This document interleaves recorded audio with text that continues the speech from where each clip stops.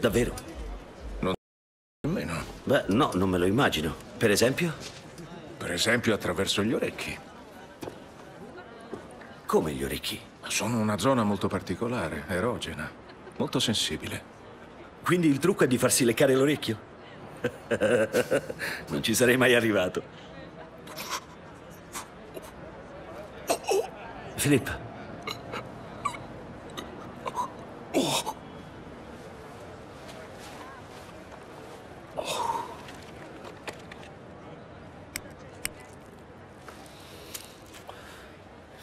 Fatti un tiro, ti farà bene. Cos'è questa porcheria?